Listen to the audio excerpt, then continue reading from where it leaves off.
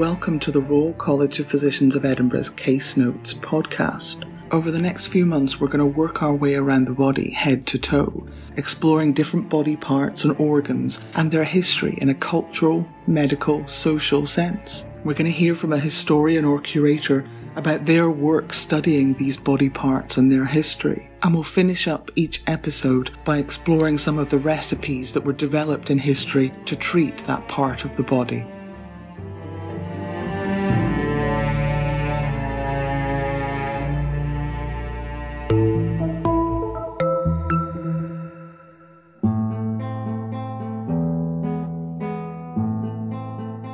So, welcome to our head to toe podcast as we travel around the body.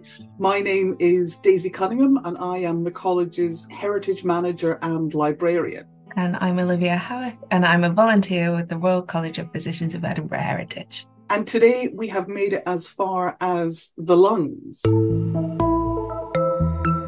And I apologize, but it feels like every single podcast episode we have started in the same place but we are going to have to start with humoral theory because you cannot get away from it. It's everywhere in the history of medicine. So the lungs are one of the very key parts of humoral theory. There are four organs of the body that are completely central to this early modern or, or pre-modern understanding of how medicine works. So, because there are four humours in the body yellow bile, black bile, blood, and phlegm these four humours are produced by four different organs the spleen, the gallbladder, the liver, and the lungs. So, the lungs is on one of those lists as like kind of top four key body part central to all the ideas around humoral theory. Even though they didn't really understand what the lungs did or what they were for, they understood that they were important. And slightly sadly for the lungs, they are in many ways the worst of the organs because they produce phlegm, which creates cold and moist temperaments, which are associated with being a bit dim and a bit boring and not being particularly impressive or intelligent or exciting in any way. So apparently that's what the lungs do.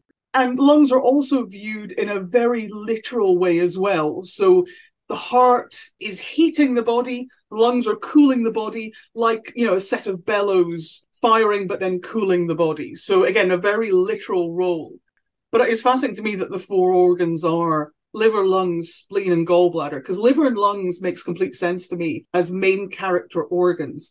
But the heart isn't on that list but the spleen and the gallbladder are, which feel like in in 21st century understanding of the body, not your kind of top key organs necessarily.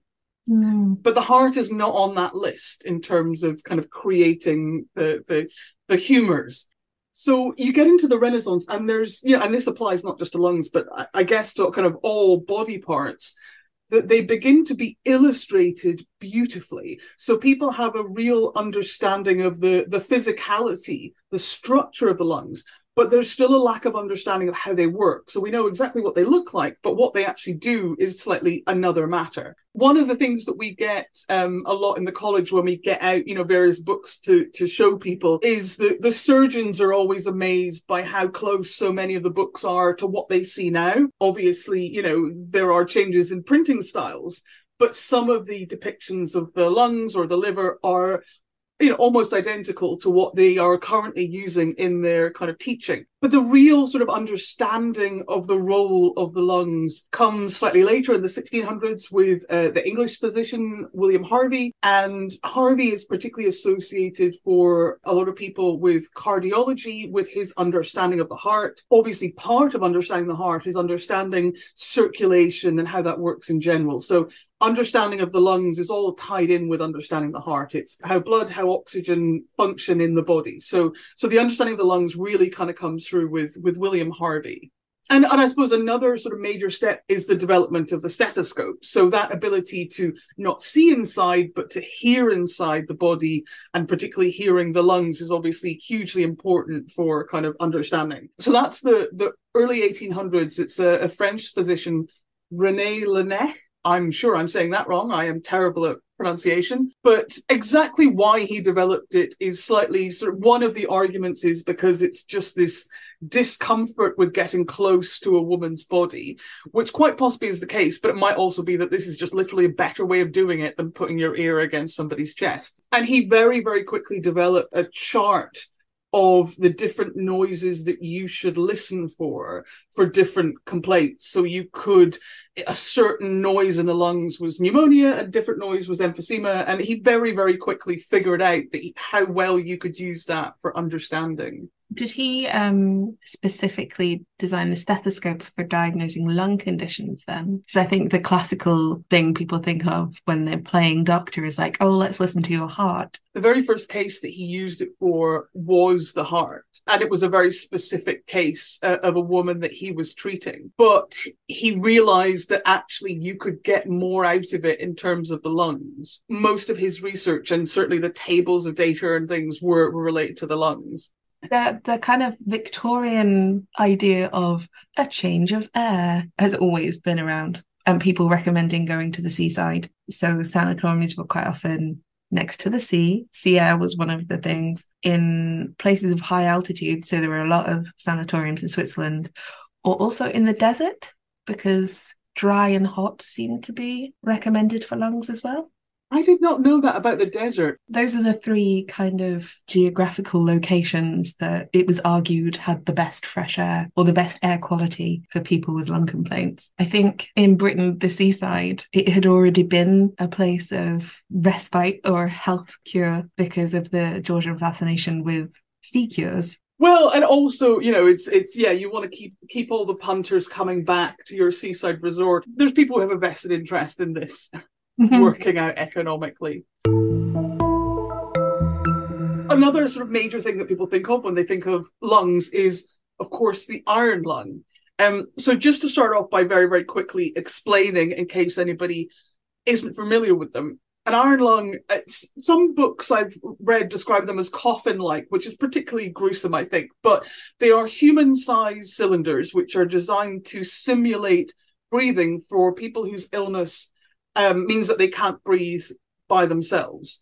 So it was developed by a team at Harvard University, and I think was first used in the 1920s. People tend to particularly associate iron lungs with polio, but they were also used for any other complaint where you could not really breathe for yourself. You know, they have to be um, airtight. That's how they function because the space raises and lowers the air pressure in you know and therefore your lungs are forced to to um, take in oxygen as a result. There, there's a, a slight sort of um, misunderstanding perhaps in the in the way in which iron lungs operated. Iron lungs were typically used for a relatively short period of time days weeks maybe months. There are a a small number of cases of people who had to use them for their entire lives, but that wasn't the norm. That's not what people expected. I think I read that um, typically people who had polio would only be in them for about two weeks mm. once they recovered. I think I had an image of what they looked like and then had no concept about how they worked. And it's fascinating that it's like the opposite of what current ventilators do. Ventilators have positive pressure, so they're blowing things into the lungs, but iron lungs have negative. It's a negative pressure ventilation system. They look very steampunk. They I do saw... because they've got sort of like ships' portholes all along them. I mean, they're not ships, they're iron lung portholes, but you know, it's that sort of aesthetic because you needed to be able to open them to put things in or take things out. You couldn't just have like one hatch. You had to have them all the way along so you could get in and get to somebody's foot or whatever without opening up the whole thing. So yeah, there is a, a very sort of um, a, an aesthetic that we wouldn't be used to with kind of 21st century medicine for sure. But no, and I'm just trying to think in terms of iron lungs in pop culture because I feel like you know quite a few years ago, twenty whatever years ago, I remember seeing a lot of films and TV shows where an iron lung would be included, and I feel like there's at least one bad daytime murder mystery thing where somebody like unplugged some millionaire's iron lung and oh mm-hmm. who did it sort of thing. It was sort of a, a, a plot device that was used at one point I guess culturally it resonated in the 80s and 90s maybe more than it does today because we are that bit further removed from from that part of history. That was a fear that did resonate because it's the idea that you are so reliant on this plug socket or the electricity in this building, you know, the, the, the potential for things to go wrong if there's a power cut. Mm. was something that was particularly unsettling around this. When you talk about the lungs, there are certain diseases that get in the history get talked about quite a lot. So tuberculosis slash consumption is definitely one of them. Lung cancer is another one. Asthma. I got very excited about asthma. I guess the first thing is that, like a lot of historical terms that have been around for a long time, in this case, back to ancient Greece, it does not at all mean in the history what it means now. Asthma now is a very specific complaint caused by very specific particles. In history, it was just like, oh, you've got a bit of a cough or a wheeze or something weird going on. Let's call it asthma. You can't really say that it's the same thing 2000 years ago to what it is now.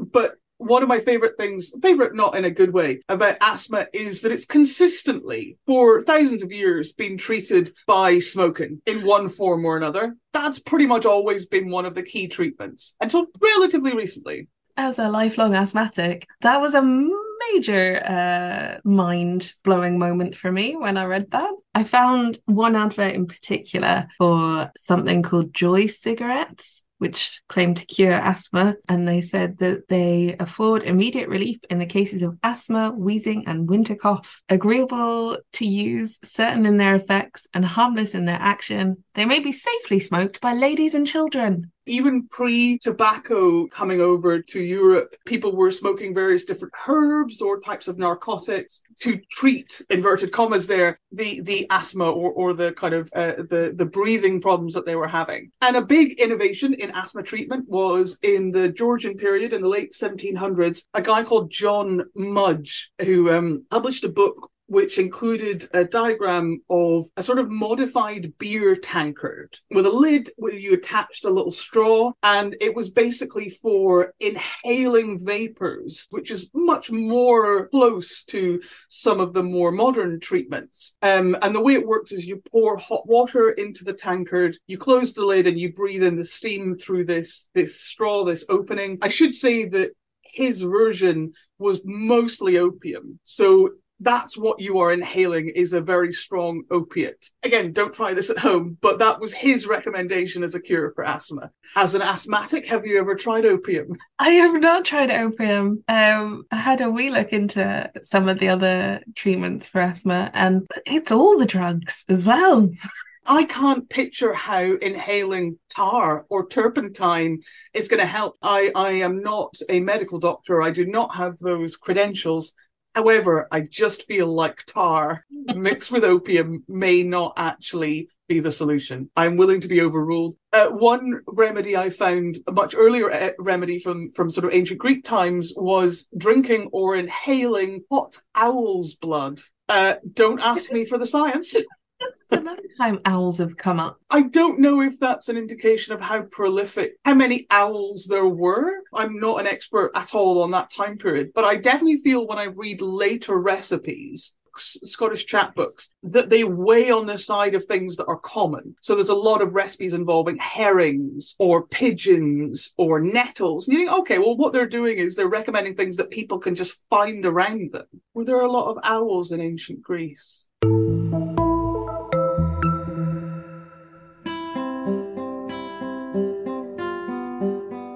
In our case study today, we're going to look at the early history of tobacco smoking in Britain. Tobacco first arrived on the European continent around 1560.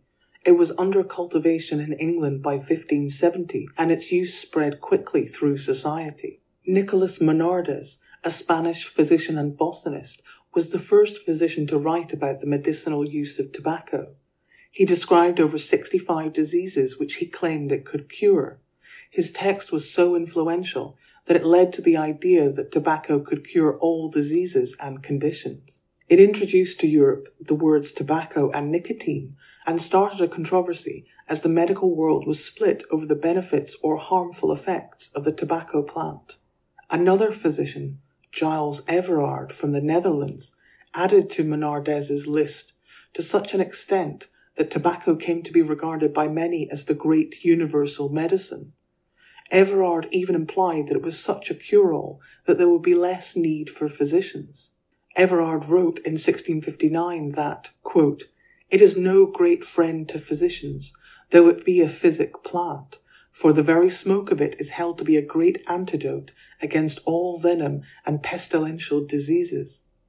In spite of publications like this, in reality the use of tobacco was from the outset as much, if not more, about fashion than about health. Caricatures of dandies or gallants as they were called, ostentatious smoking, and the purchasing of expensive smoking equipment were all commonplace. One author wrote in 1603 that the sign of a fashionable gentleman was, quote, to make good faces, to take tobacco well, to spit well, to lie well, and to blush for nothing.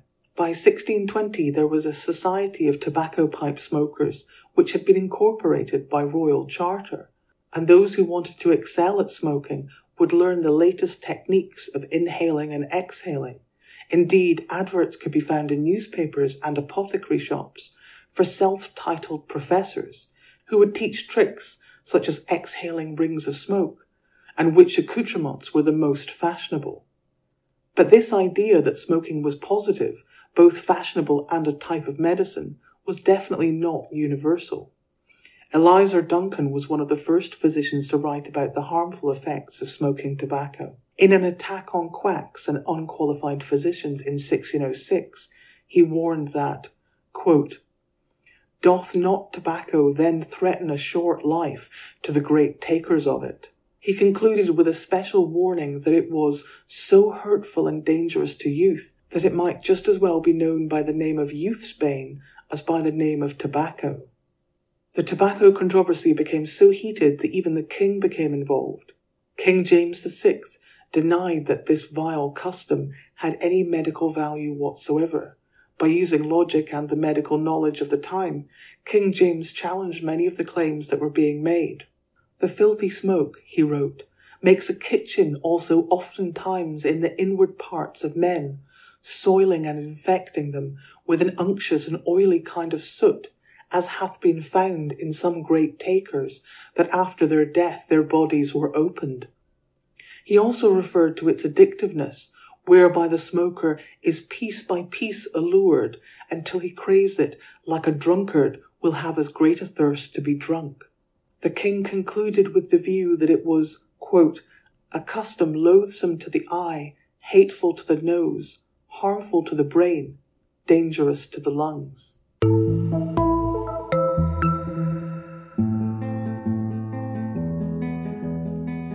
This short clip is from the Wellcome Collection. It is part of a Central Office of Information film for the Ministry of Health, and it first aired in 1950.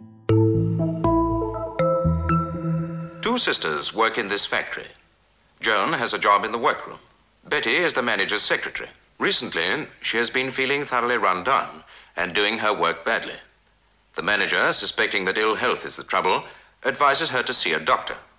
She tells her sister Joan, but she says she's going to take no notice of this advice. Betty is reluctant to go because two years ago her mother died of tuberculosis and she is afraid she may have inherited the disease. Joan eventually persuades her. Tuberculosis is not hereditary, although you can be infected by someone who has it. The doctor tells her this when he examines her. He finds her a bit anemic, otherwise there's nothing much wrong. All the same, he wants her to be x-rayed. This is the only certain method of detecting tuberculosis in its early stages. Then he asks Joan how long she's had her cough, and after examining her also, advises both sisters to go and have an x-ray taken. Under the National Health Scheme, this service continues to be provided free. Soon, Betty can see the result of the x-ray for herself. Her lungs are perfectly healthy, and she needn't worry any more. Now it's Joan's turn. Having an x-ray is short and simple, almost as easy as taking a snapshot. Let's have a look at Joan's x-ray. That patch on her lung is evidence of tuberculosis. The doctor knows what a shock this is for Joan, but because it's been detected at this stage, she's got every chance of getting well soon. For a time, however, she will have to go into a sanatorium. Although new forms of treatment are bringing added hope, proper food and rest and plenty of fresh air remain the essentials for the cure of tuberculosis. As soon as Joan arrives at the sanatorium, she starts having treatment. Here you see how it's done. The diseased part of the lung is shown black. For this part to get better, the lung must be rested by a method called artificial pneumothorax, or lung rest. To do this, A needle is put painlessly through the wall of the chest, but not, of course, into the lung itself. Air from the outside is let in so that the lung collapses. This lung will now be able to rest while the other does the work of both. This is all done under a local anesthetic and doesn't worry Joan at all. The diseased lung will now have a chance to heal. But there are not enough nurses to staff all the beds in hospitals for the tuberculosis patients needing them. So there remain some, less lucky than Joan, who must at present await their turn for a bed. For these people, cure begins with home care. At home, the tuberculosis health visitor comes regularly to talk over with the family any problems caused by this patient's illness. Complete rest under his doctor's supervision is the quickest way to recovery. John Harvey has learned how to rest in bed and find an outlet for his creative energy. He took up painting six months ago. Having something to do, like painting, needlework, or even studying a new language or working for an exam, is essential to keep patients happy and therefore help their cure. Joan has been in hospital several months now, and the infected part of her lung is beginning to heal. Later, the lung itself will be allowed to expand again, and only a small scar will remain. Already she is able to get up and sit out of doors. The day comes when Betty can take her home again. Joan can now mix freely with other people, and while she is getting back her strength, her local health authority will arrange for her to have special care. It won't be long before she can return to work and lead a normal life once again.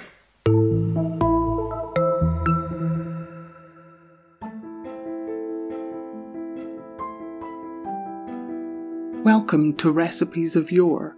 We're going to explore some unusual medical recipes from the past.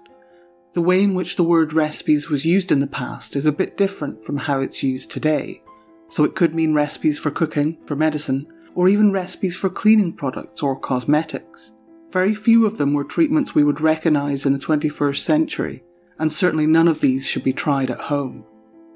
Often with internal organs, it can be quite difficult to be sure which body part is being prescribed for. A lot of recipes are to treat things like a pain inside or an inward wound.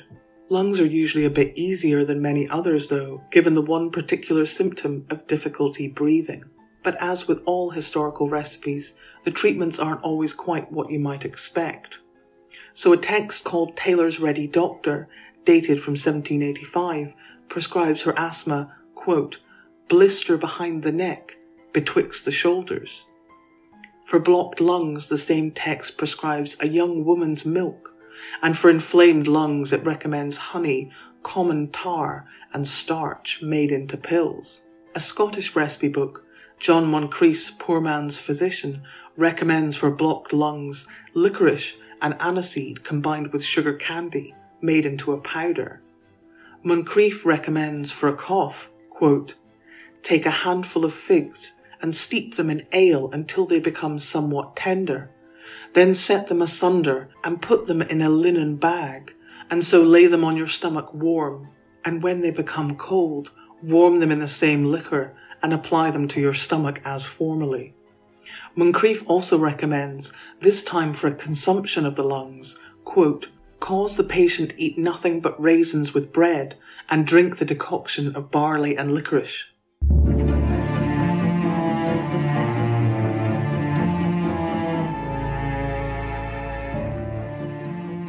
Thank you for listening to this Case Notes podcast.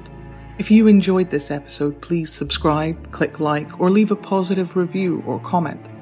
We really appreciate it because it helps us get higher in the rankings and reach more people.